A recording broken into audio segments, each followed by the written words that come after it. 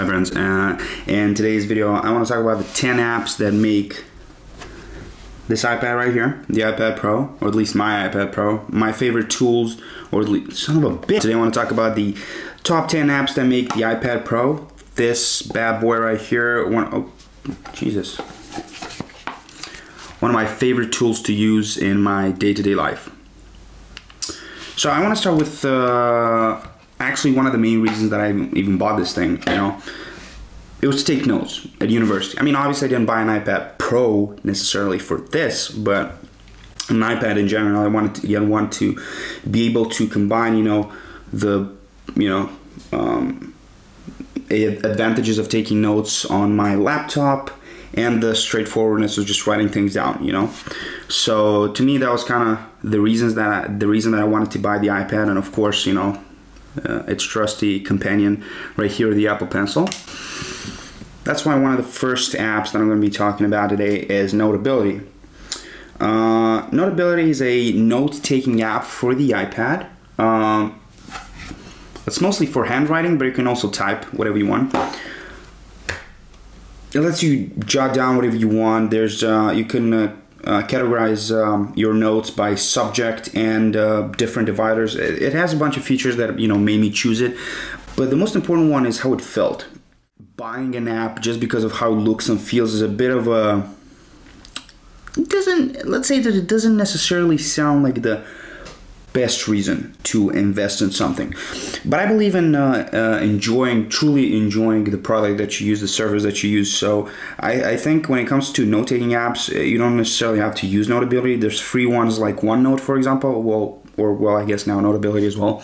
Or there's uh, GoodNotes, you know, and there's a lot more really that you can use. Uh, Evernote, I believe, supports Apple Pencil uh, as well. You know, just writing stuff. The great thing about having a digital note-taking app is that you can ask, access the notes on multiple devices. You know, like I installed, for example, my uh, M1 Pro MacBook. Uh, I installed the what is it called? What is it? A notability app, so I can just open them up there whenever I can write something here in a in a couple of seconds or even milliseconds, depending. You know. Um, all the new information appears on my laptop, which is great. And of course, another nice thing about a digital notebook is that it never ends basically. You know, I mean, of course, it's not infinite, but it's so. I think I should have just stopped talking there, you know. And speaking of writing down things digitally, uh, my favorite journaling app. I used to use Alan Mind um, to journal every morning. I switched actually like about a month ago or two, I think early December or something.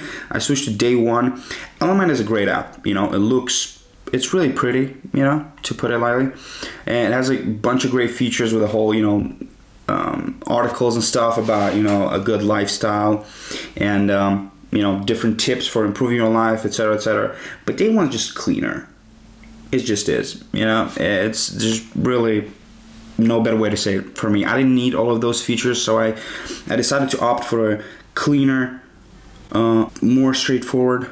Uh, of course, you know the, the journaling app that you use, uh, even more is an intim- is a very intimate choice, even more so than the than the what do you call it, the note taking app.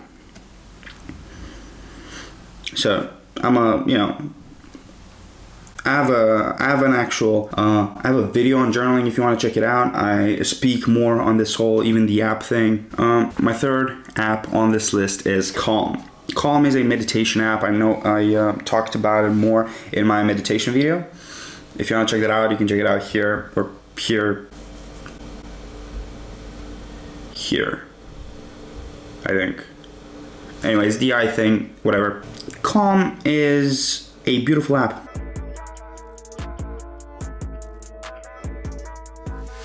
One of the best things about it is I can, because it's, uh, the iPad has such a beautiful screen and amazing speakers, which I can't really, doesn't really translate through, through video. But if I just turn it on like this and leave the, this sort of landscape with some audio on it, it helps me concentrate. I just kind of like put it next to my setup or uh, at the back of my head if I'm trying to fall asleep or something. So I'll just open Calm uh, and I'll put it here over near my head, you know because it you know it helps me with sleep. Of course, I need to to to increase the volume.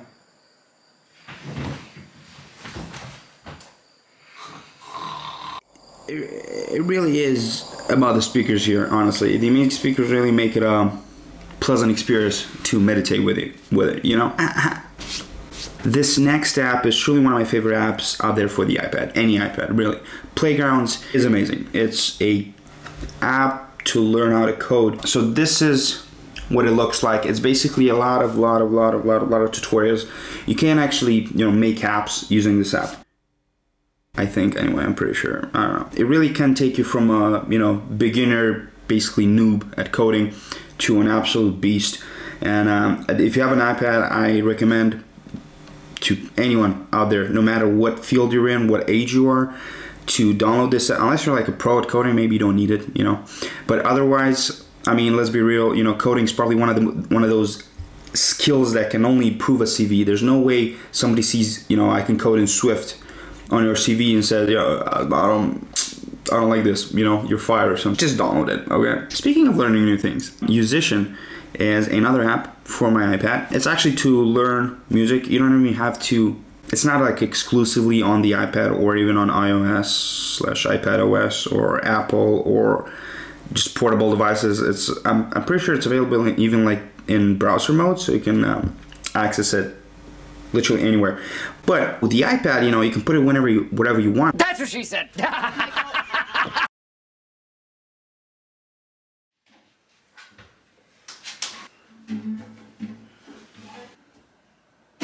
it's really the flexibility of the um, positioning of the iPad, I guess, that made me choose this app and put it on this list. Speaking of learning stuff again, Memrise. Memrise is a language learning app that you might not be familiar with. At least I wasn't until, until it was recommended to me by the App Store. I prefer this app because of one simple thing.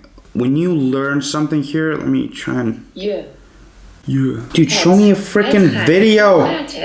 Again, I'm not gonna lie, I, I, wasn't able to find what I was looking for. But basically, uh, it has two features that I didn't see in Duolingo. First of all, speech recognition, that's number one. And two, it teaches you languages by showing you clips of actual native speakers.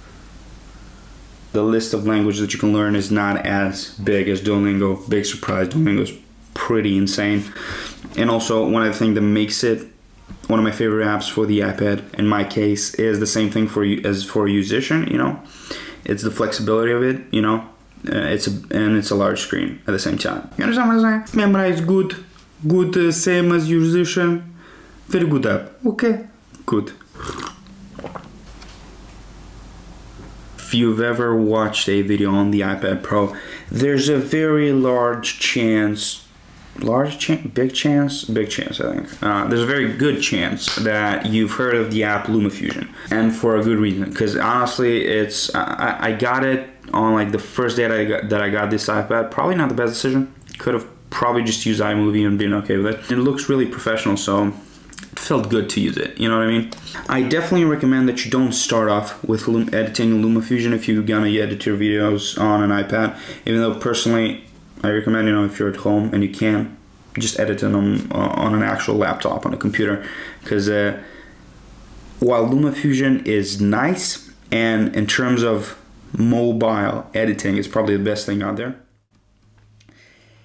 It's just not the same experience as actually editing on a desktop, um, you know, PC or a laptop at the same time. You know, it's just not the same thing with you know having a trackpad, a bigger screen, you know, actually that's kind of the whole thing. Just trackpad and bigger screen because you can have a, um, a keyboard. Even with the magic keyboard the ipad is just not the same thing.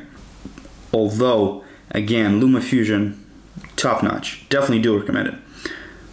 I've edited my videos up until november on uh, the ipad through lumafusion right with this app is the next one which is procreate. This is similar to lumafusion again you know probably one of the best creative apps on the iPad. Probably the best, it's kind of the Photoshop alternative for the iPad. Even though Photoshop is on the iPad, it's just not, I think, as well. It doesn't, Procreate doesn't have as many features, but the ones that it does have are better optimized for the iPad than Photoshop. For me, this app is mostly fun for fun because I just love drawing, and sometimes I do use it for editing, but not that much because again, I don't really have the skill set necessary for it.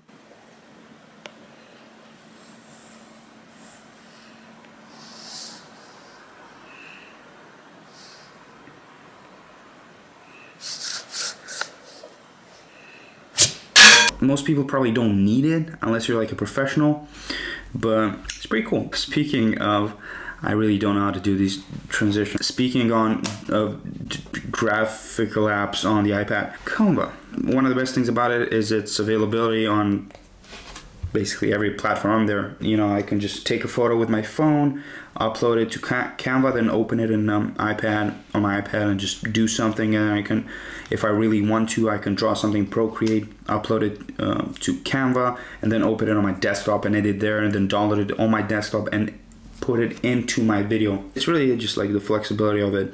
I'm not even sure I'm using the word correctly, but Canva, top notch. Last place, the entertainment apps one of the most important thing about every single app on this list of mine is that it takes advantage of one of the iPad's features, either the fact that you can uh, that it's a very mobile device, or it's a beautiful screen, the amazing speakers, etc., etc. The entertainment apps really do take advantage of a lot of this, right? I usually use my iPad with with uh, headphones on, but when I don't, I like to put it on in the middle of my room and sometimes just blast some music music through Spotify. Put on a YouTube video while I'm while I'm doing the dishes. Books get smart. And another good feature that I talked about in the six months uh, um, iPad review thing is the picture-in-picture thing.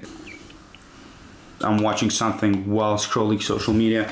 It is a very, very, very nice way to procrastinate like I'm doing most of the time. If that's not a reason to buy the iPad, I don't know what is, you know. Yeah, that's about it, you know. I just really think of the iPad as a mini entertainment system, right? That you can take everywhere with you. It's one of the things I love. It's actually not one of probably the thing I love most about it. That's it for my list of top apps. If you have some suggestions, uh, put them down in the comments, write them down in the comments. Oh my god. Yeah be sure to uh, watch this video on my six month review of the iPad. And um, this is a fun one. This is the MacBook MacBook video that I really enjoyed making. Well, it was an unboxing, so you can understand. so uh, yeah. See ya.